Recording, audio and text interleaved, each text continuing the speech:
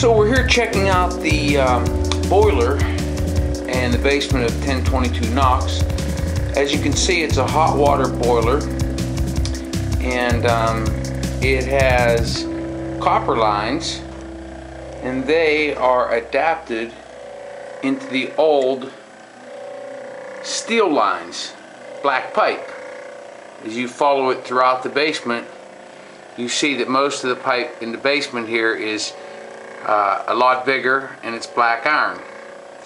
And they adapted the newer boiler with the copper fittings with the old ones. Uh, just the other day, we came to the uh, ins uh, inside the boiler and we took all the burners out and cleaned them and made sure they're safe and they burn efficiently and the burners are working perfectly. What we're here to look at today is this Bell and Gossett motor and it's not pumping and we're going to see why. We're here today to um, service the motor and the um, coupler and motor mount, coupler and motor mount and that is if you look down below here it is this. It's what they call coupler and motor mount. Now it's interesting there is a, a cast iron piece and it's there's sort of two cast iron pieces and they're sort of linked together by these four small springs if you notice. Now this coupler and motor mount here is inside this housing right here so what we're going to do is we're going to shut the power off to this boiler so that this motor stops turning and then once we do that you'll see what I believe is malfunctioning inside this pump. Um, I believe that the um, motor mount, the coupler and motor mount has gotten is broken or or rusted.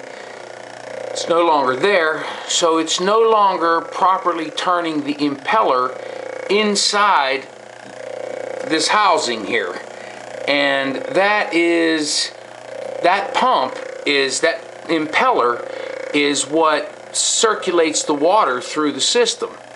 So without that impeller turning, the heat can't get through the whole system. Uh, the, the, the, pump is necessary to run the hot water through all throughout the entire system, all the radiators and baseboard heaters inside this house. Now, right at this moment, the radiators on the first floor are getting warm. But they're getting warm just by gravity. In other words, the boiler is heating the water, and the water is just hot enough that it's it's um, the heat is being conducted through the pipes, and so the radiators on the first floor are getting hot, and the house can get up to about 60 degrees, but that's about it. We can't get any hot water up to the second floor, and that's because there's no pump working. So I'm going to take a minute and get this housing taken apart and show you how this comes apart. All right, as I said, first thing we're going to do here is turn the power off to the boiler. So if you just follow me up here, and you'll see, we just go up into the rafters. There's something up here that is called a Fusetron. And this thing's usually up in the rafters. All furnaces and boilers have them.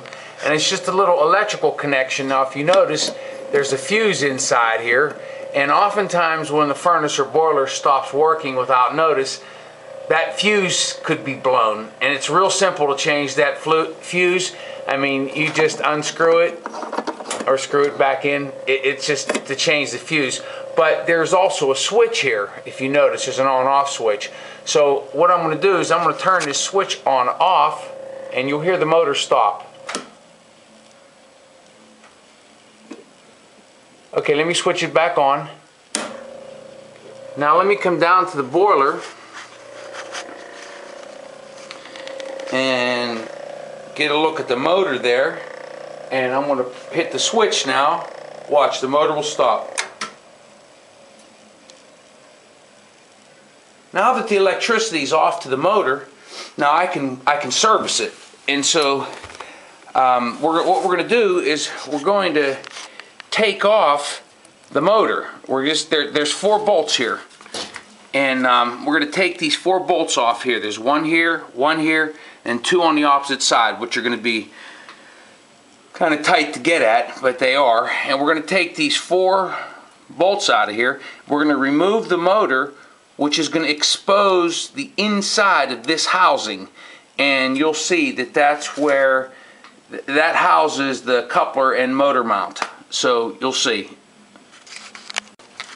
Okay, so we're going to get a, a socket wrench here. Just put it on the bolt. And we're going to take, loosen up each one somewhat. Sort of like when you're taking off a tire almost. The other side's going to be a little difficult, a little more difficult to get, so just, I'll get it off without the camera in my hand. Hold on a minute.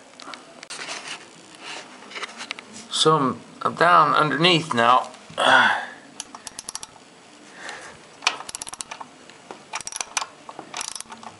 It's a little, it's a little tight under here, but it's okay. And um, so we'll get them both off. And they just, seem to just kind of come out of there, you see? And um, one on the other side, I believe, is loose as well. So I got the bolt off and the motor came apart from the housing. Now, it's pretty much what I suspected. If you look inside this housing, you can see that this old piece here is kind of rusted and there's dirt in there. See, and and here this looks like the old the old piece that turns this impeller. So we're going to take it out of there and then we're going to replace it with this new piece. So I removed this little gear sort of mechanism from here. There's a little Allen key wrench, little Allen key there, and the same thing with the other side. I just stuck the Allen wrench in there, loosened it up, and then that piece just comes off. And we're left with a stud that's meant to accept this. So I um, cleaned this out, this housing. Now what we're going to do is we're going to install this coupler and motor mount. Now, so we're just going to put this, you see this little hole there? Um, this little hole on the side of this. So if you notice on this little stud, there's a hole there and that's where we're going to mount this. And we're going to put the make it we're going to put it in so that the Allen key that's in there is going to line up right at that hole. That's how we're going to set it up here. Okay I got that coupler and motor mount in there. And uh, God it wasn't nearly as easy as it looks. But you see now it turns see it turns. And then what I'm going to do is I'm going to take this side to take the other side and I'm going to put it on the stud on that motor and then tighten the Allen wrench down on that. And it'll be connected on both sides. It'll be connected on the impeller side and it'll be connected on the motor side both on a stud connected by this Okay, I got the um, pieces on the interior there put together, coupler motor, uh, the coupler and motor mount, and I'm just putting the nuts back now. You're going to tighten this up, like I said, like you're sort of like doing like a, like you're putting a tire on. Just do a couple of them at a time.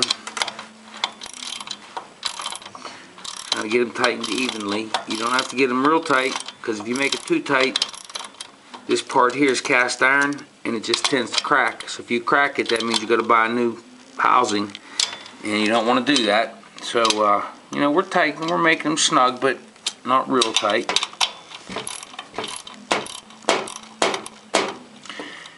and if you notice there we had to um, disconnect the electric here and that was just because it was hard to hold the motor up while it was still connected to this piece of wire here so we had to disconnect the electric and made it a little easier to handle the motor. So that's how we got it put back in.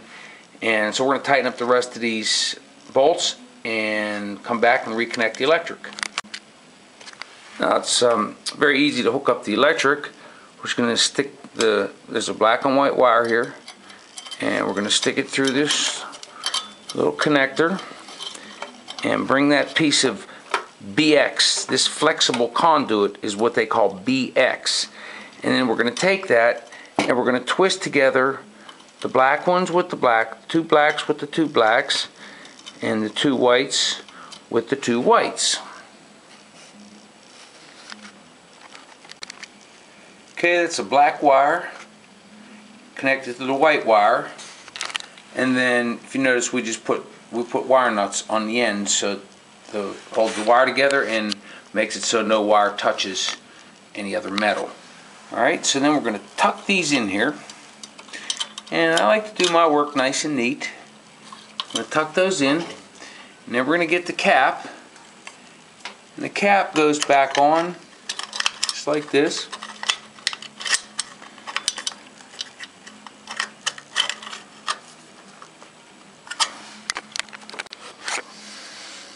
So we're just uh, got the lid on, uh, cover, and um, just tighten up the screw. That seems to be it.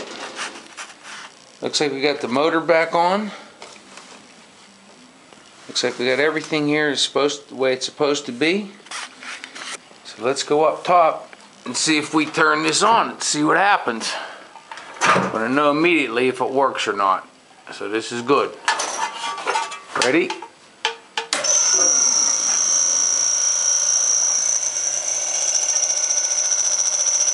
it is working.